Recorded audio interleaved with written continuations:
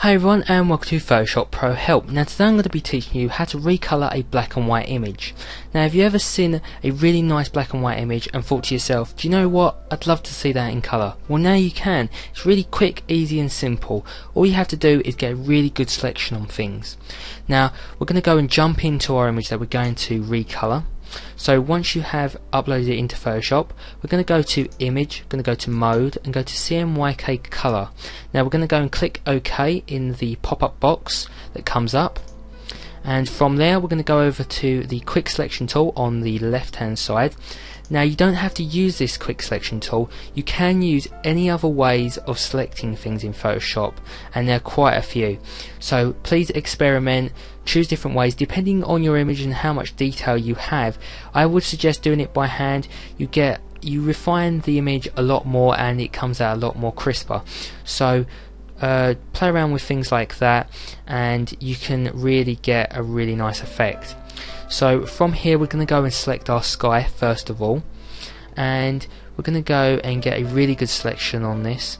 Now don't forget you can just go up to the top and click the minus tool and just go over the things that you don't want in your image, uh, the selection and just take it out. Now once you have got a really nice selection on um, your picture. Now I would suggest zooming in and lowering your brush size and just getting in the cracks and crevices just to get all the detail in. So once we have got a really nice selection, I'm just going to go make my selection. I've already selected everything just to speed up the tutorial. We're going to go over and click refine edge at the top and we're going to go and put smart radius on. And we're going to put the radius to around about 20 to 25 pixels depending on how detailed your image. You really have to play around with this setting. So once we have done that we're going to go click OK. And we're going to go to the adjustments tool. So go to the bottom right hand side and you'll see this black and white circle. Click that and we're going to go up to curves from here we're going to go up to the CMYK color drop down menu and we're going to go and click cyan and we're just going to bring this up a tad like that and we're going to go to the drop down menu again go to yellow and we're just going to bring this down. Now you really have to play around with this uh, to get the right color. You really just have to know what sort of color that you really want for your images so let's just have doing this really quickly. From here we're just going to go and do exactly the same what we just did to everything else.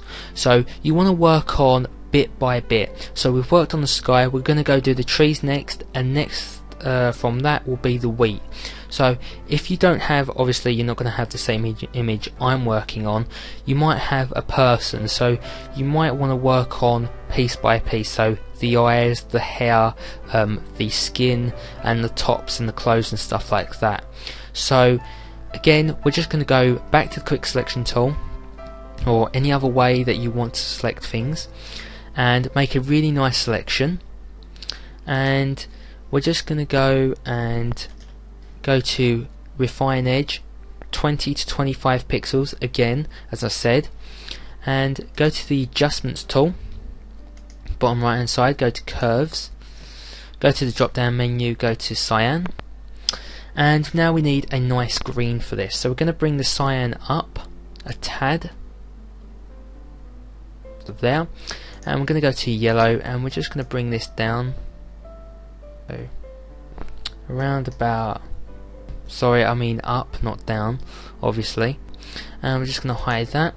And then we're going to go and do exactly the same as we did for the everything else. So we're just going to go do the wheat next. So just going to go make a selection.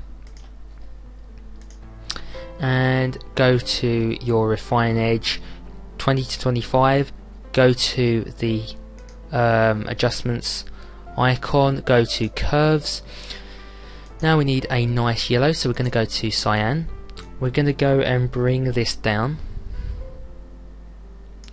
We're going to go to magenta. We're going to go bring this up a tad. You need to be very careful with this color. It can be pretty strong.